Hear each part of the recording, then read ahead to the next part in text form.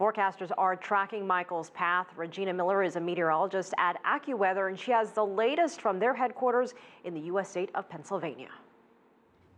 Michael made landfall in the western panhandle of Florida as a powerful Category 4 hurricane and now as a Category 3 hurricane making its way across parts of Georgia where it's expected to diminish to a tropical storm during the early morning hours on Thursday, moving across the Carolinas that have already been greatly impacted by flooding from Florence. Some of the top wind gusts reported Tyndall Air Force Base in Florida.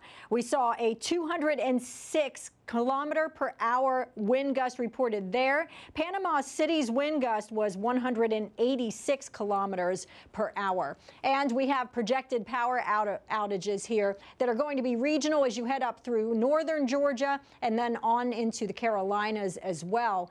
And the storm surge has also been another significant problem. The storm surge right there in the western panhandle of Florida around Apalachicola has been three to nearly five meters. So that is going to cause major storm surge flooding.